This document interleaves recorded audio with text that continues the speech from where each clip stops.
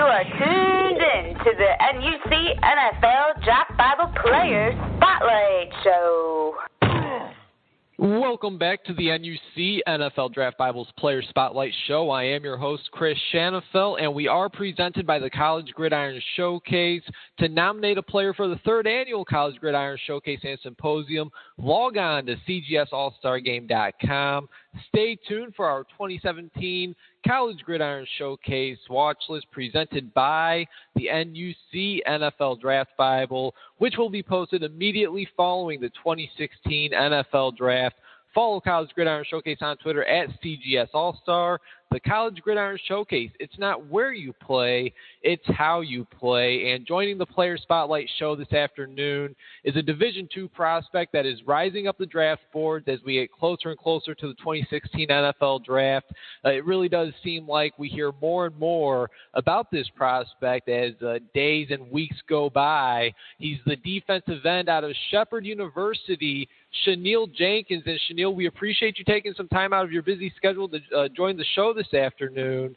Um, I know that you recently had your pro day and you put up some impressive numbers, including a 4.78 40 yard dash. Uh, you also uh, were able to pump out 24 reps of 225 pounds on the bench, and you measured in at 6'3", 284 pounds. Um, it, it, does sound as if uh, NFL teams they, they, they like what they've seen. How, how do you feel about the way you performed earlier in the week at the West Virginia Pro Day? Uh, I feel very well about it. Uh, I feel good. I feel like I'm definitely extremely athletic to be my size. Mm-hmm. Uh, can, can you talk about where you've been training at, if you could? I mean, take us through what your average day of training consisted of to get you ready for that big pro day. Um, I've been training in Baltimore uh, with TGX Performance with a guy named Terry Gaines, and um, we pretty much train all day. He likes to focus on everything, so we do strength training, footwork, anything you could think of to get us ready. So we're we are very well rounded as athletes. Nice, and yeah, you, you certainly seen that uh, earlier this week at that pro day. Again, some very impressive numbers, uh, and your name has really been generating quite a bit of, of buzz, really over the last month or so. Um, what has some of the feedback been like for you? I mean, ha- have you been able to talk to any scouts and, and pick their brains and, and kind of get their thoughts of what they think about you? Uh, I could definitely, you know, see that they like me, but you know, they're pretty good at keeping secrets, so I can't tell you. Yeah, they're, they're pretty good at keeping their mouths shut. But uh, yeah, I mean, again, the, your your name, Shaneil Jenkins, it's been generating quite a bit of buzz uh, for for quite a for quite a while now. Uh, you know, at least the last month. You know, probably even a little bit longer now. Um, was there any questions about your game that you wanted to answer in front of those scouts? Well, two things. First, because I'm a D2 kid, you know, I play very physical, but people, you know, doubt it whether my strength would translate over to the next level. So I definitely wanted, you know, to silence those notions. But also, people believe that you know I was just big. You know, I wasn't athletic. So I definitely wanted to show that I'm more than just a physical player. That I am athletic and that I could do multiple things. And I think you could see that not only in those pro day numbers that you put up, but uh, you know, turn on the film and uh, you will see uh, somebody that really dominated the defensive side of the ball um, for, for uh, quite a few years there at Shepherd University. He is the 2016 NFL draft prospect out of Shepherd University. Shaneil Jenkins uh, joining us here on the NUC NFL Draft Bible Player Spotlight Show presented by the College Gridiron Showcase. And uh, Shaneil, looking at what you did uh, just this past season, I mean, you were the Mountain East Defensive Player of the Year. You led the Shepherd Rams with 23 uh, tackles for loss, 13 and a half sacks. You forced three fumbles. Uh, what exactly was it about this past season, your senior year, that you were just able to dominate the competition week in and week out? Uh, it was really about winning. You know, you got a lot of young guys who look up to you. That you know they vote you in as a captain for a reason, and you just had to take it in and, and try to lead them. So it was about showing them the proper way to do everything, and just trying to get a win at any cost. If you could single out one game, whether it's from this past season or, or you could go all the way back to your freshman year if you'd like, uh, but if you could single out one game and, and tell the scouts to go back and watch what game would that be and why? Um, hmm. I would probably say Winston Salem, my um versus Winston Salem, my sophomore year in the playoffs. I feel like that's where I really started to emerge on the scene and really started showing what I could do, and then you know just you know got better from there. So. Okay, Winston Salem. I'm gonna have to go back and check out that game myself. Uh, Winston Salem, your sophomore year, which would have been 2013. I'll uh, definitely be keeping a tab on that. Um, Shaneil, when, when did it become more clear that a professional football career may be in your future? I mean, when did you realize that you had a legit shot at making football your job? Hmm. I mean, people always say, yeah, you might have an opportunity, you have the size, but I guess when I was dominating a little bit, but I still felt as though I could be better. So, like my junior year, you know, I had a decent season, but I felt like, you know, I could be a lot better. So I'm like, everybody's like, oh, this guy's good, but I felt like I could get better. So I felt like, you know, it was a chance for me to go professional because I still have a lot of room to grow even now after my season. So. And coming from a Division two program in Shepherd University, Shaneil, is that something that you kind of take pride in that you're taking a route to the NFL that not too many people make? Yes, I feel like there's no better person to be suited for that role, but I definitely, you know, am blessed and grateful. But I want to make it easier for these two players to get in the NFL. So everything I do is going to put my best foot forward.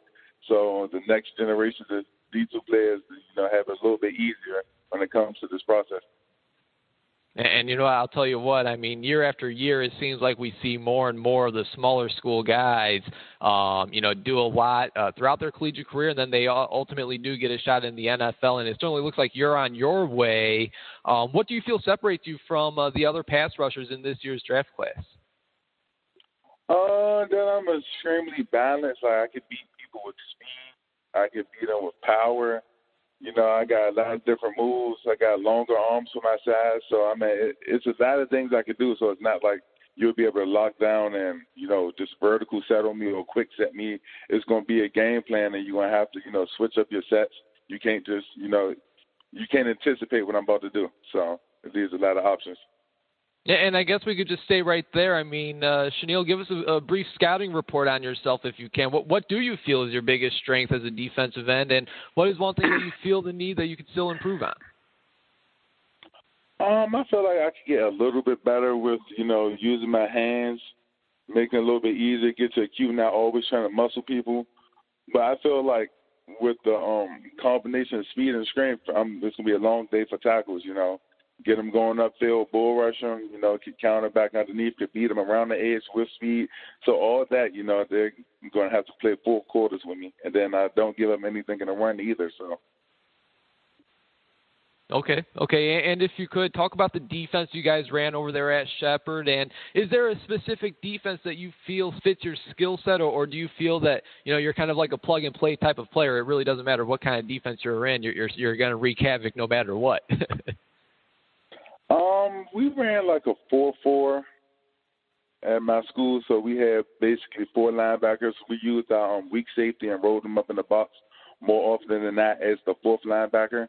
And I mean, it was a pretty simple defense. You know, gap control. Everybody is responsible for a gap in the front eight, and that's pretty much how we played. I was responsible for being over the tight end and controlling the C gap and setting the edge. So I feel like I could play any defense. So. Okay, great. And is there a current or maybe a former NFL player that you try and mold your game after? Maybe take bits and pieces of their game and try and add it onto your own. Um, I still stuff from a lot of NFL players, and not only NFL players, college players. So when I'm when I'm watching stuff, I'm always looking at what people doing and seeing how it could translate to my game. Okay. And, and you know what? Uh, obviously, Shepherd, one of the top Division two programs, and uh, you know they've been one of the top programs in Division two for uh, quite a few years now. Um, this past season, you guys finished 13 and one. That one loss coming in the Division two national championship game. So there's no doubt that the talent is there. You mentioned it. It's still a pretty young team uh, overall. Um, who, who might be the next Shepherd Ram that we need to keep an eye out for? I actually believe it or not, I believe we have three dimes next year. Um, one would be uh Billy Brown, wide receiver. Uh, we have a, a safety by the name of Trey Sullivan. I feel like he's going to have a great season this year.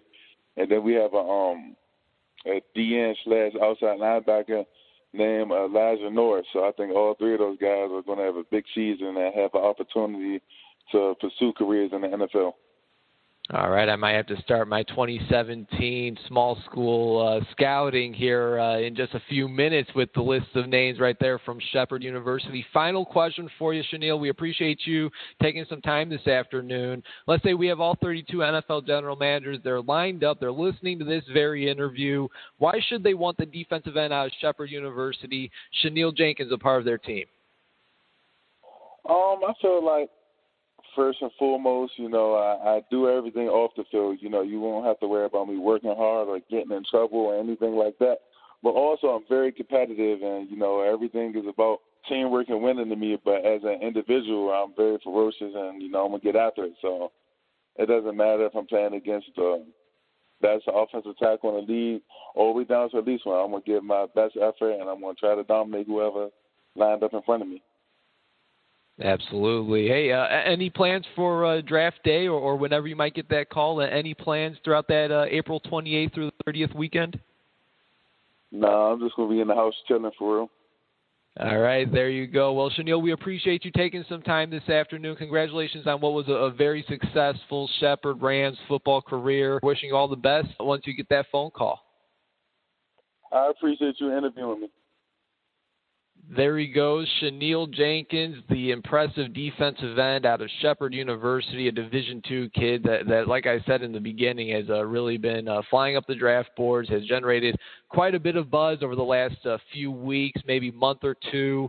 Um, and, and, this is a guy, uh, I, I, won't even lie to you. I, I, was late to the party when, when, it came to finding out about him, but, uh, you know, you turn on that film and uh, it's certainly a player that you want to learn more about and a player that you want to see more of. And I think he's a really uh, intriguing prospect, um, especially as, you know, we, we hit the home stretch here, uh, you know, less than three weeks away from the 2016 NFL draft. I certainly think this is a name, Shaneil Jenkins, that uh, a team could take a flyer on in the sixth, seventh round, priority free agent, and he'll be a guy that uh, really does make some noise. I think in a training camp uh, in the preseason, and uh, I think he'll find himself on a, a practice squad or, a 53-man roster uh, on an NFL roster near you. Once again, the NUC NFL Draft Bible Player Spotlight show is presented by the College Gridiron Showcase.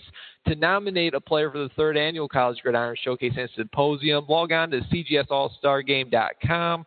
Stay tuned for our 2017 College Gridiron Showcase watch list presented by the NUC NFL Draft Bible, which will be posted immediately following the 2016 NFL Draft. Follow College Gridiron Showcase on Twitter at CGS All Star. The College Gridiron Showcase, it's not where you play, it's how you play. Special thanks again to Shaneil Jenkins of Shepherd University, 2016 NFL Draft Prospect, for calling the show, and uh, we appreciate it. And until next time, everybody.